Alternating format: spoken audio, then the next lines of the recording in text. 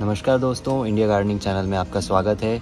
और आज मैं आपको बताने वाला हूँ गजीनिया प्लांट के बारे में, आप देख सकते हैं। मेरा कितना अच्छा हो रहा है तो मैं आपको बताऊँगा इसको कैसे आपको उगाना है और कैसे आप इसमें बहुत सारे फ्लावर्स ला सकते हैं। तो आप देख सकते हैं कितना अच्छा ये हो रहा है, बहुत बड़े बड़े फ्लावर्स इसमें आ रहे हैं। अभी तो ये बंद होने लगे हैं क्योंकि ये शाम हो रही है, लगभग पाँच बज गए। तो ये बंद हो जाता है शाम को, आपको पता होगा। धीरे धीरे ये फोल्ड होता जा रहा है, आप देखिए। पूरा खुला हुआ था ये। तो इसको लगाना बहुत आसान है। आप कोई भी नर्सरी से जाके ये प्लांट ख़रीद के ला सकते हैं। पंद्रह रुपये में, बारह, पंद्रह रुपये में आपको ये बहुत इजीली मिल जाएगा, सस्ते रेट में मिलता है ये। और ये सीजनल होता है, पर अगर आप इसकी थोड़ी केयर करें तो ये बच जाता है गर्मी में। इसको आप शेड में रख दें, ले जाके अगर फ्लावर नहीं आएँगे तो कोई बात नहीं, पर वो गर्मी सर्वाइव कर जाएगा प्लांट आपका। और जब वापस ठंड आएगी तो फिर इसमें फ्लावर्स आने लगेंगे। उसके लिए आपको करना बस इतना सा है कि गर्मी के मौसम में शेड में रख दें, कोई ठंडा स्पॉट हो जहाँ पे थोड़ा सा पानी रहता हो और मतलब पानी प्लांट के पास में नहीं मतलब आसपास में थोड़ा सा कोल्ड इन्वायरमेंट हो, ऐसी जगह पे रखें तो ये सरवाइव कर जाएगा।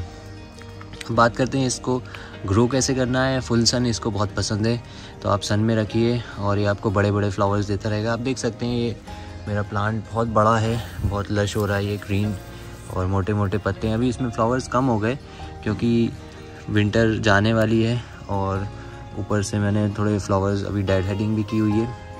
तो इसलिए थोड़े से कम दिख रहे हैं आपको फ्लावर्स बाकी ये पूरे विंटर भर बहुत फूला है और अभी भी आ ही रहे हैं। आप देख सकते हैं बर्ड्स लगे हुए हैं नए नए फ्लावर्स आ रहे हैं। तो धूप के अलावा पानी आप मॉडरेट रखें। सॉइल एक इंच तक ड्राई हो जाए, इतना ड्राई होने के बाद ही पानी आप डालें इसमें।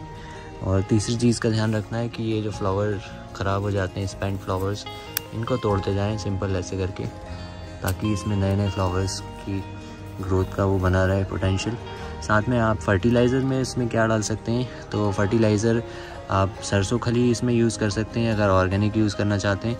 नहीं तो 19 19 19 आप यूज़ कर सकते हैं बैलेंस मतलब बैलेंस लिक्विड फर्टिलाइज़र 10 10 10 19 या 15 जो भी आपको मिल जाए।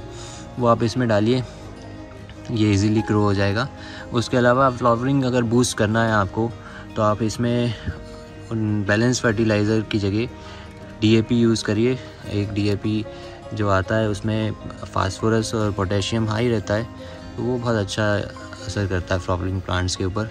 तो उसके कुछ दाने लेके आप रूट जोन से थोड़ा सा दूर रूट रूट से आ, अलग करके जैसे ये कॉर्नर पे डाल दिया एक इधर डाल दिया ऐसे करके कुछ दाने आप डाल दीजिए इतने बड़े प्लांट में लगभग 20 दाने करीब डलेंगे 20 से 25 दाने क्योंकि ये बहुत ग्रो हो गया है आप देख सकते हैं। और इसको प्रोपिगेट कैसे करना है? बहुत ही इजी है। अंदर आप देख सकते हैं, बहुत सारे ये नए नए पब्स देता जाता है कंटिन्यूसली ये लगे हुए हैं।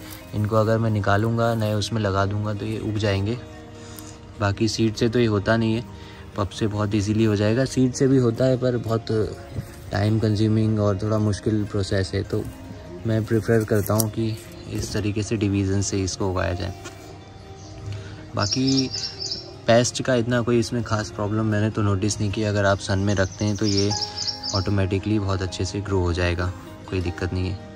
और इसके अलावा आपको कोई अगर सवाल हो, कोई क्वेश्चन हो तो कमेंट ज़रूर करें और हमसे पूछें, हम आपको बताएँगे प्लांट के बारे में। और नेक्स्ट वीडियो किस प्लांट के ऊपर बनाना चाहिए, वो भी आप हमें बताइए। बाकी हमारे चैनल से जुड़े रहिए और अगर नए आए हो तो सब्सक्राइब करना ना भूलें।